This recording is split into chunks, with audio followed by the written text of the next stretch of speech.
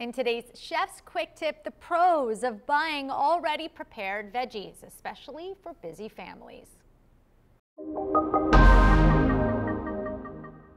I'm Tina Redwine with today's quick tip. Joining us is nutritionist Kira Pantschenko from Nouveau Nutrition Fertility Wellness. Why is batch cooking important and what is it? Batch cooking has saved my life and have saved my clients' lives typically what I ask um, people to do is batch everything you can on Sunday. What I just say is find three or four vegetables or even two vegetables that you really like and make sure you make a good amount of them. As you can see, there's three different types of vegetables here. Um, I take all of my vegetables that are prepped in bowls and I add a little bit of oil. I use avocado oil, a little bit of salt.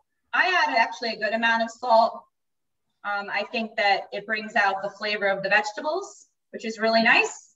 So then I'll add in a little pepper. I'll add something like a little bit of curry.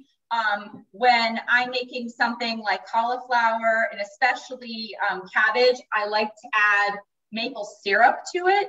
It adds a really nice sweetness to it.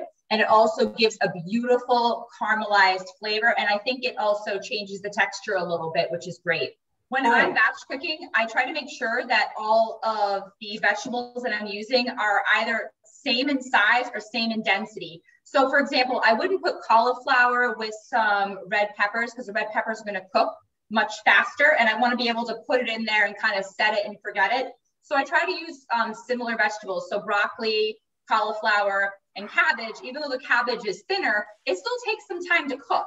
I try to make sure that they're all faced down. I probably put this in at 400 for maybe 30 minutes. If you don't want to cut anything at all, what you can do is buy prepped vegetables. But one of the great things about batched vegetables is you just don't have to use them for a side. You can use these in an omelet. You can use them with pasta. If you're looking for like a meatless Monday, you can take some of these vegetables and pair it with a really delicious jasmine rice and your meal's set. You recommend that we have vegetables for every meal? Tell me.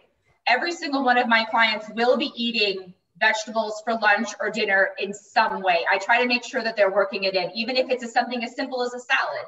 It's important because many people don't get enough vegetables throughout the course of the day. People don't want to take the time to cook them because they think it takes so much time and effort.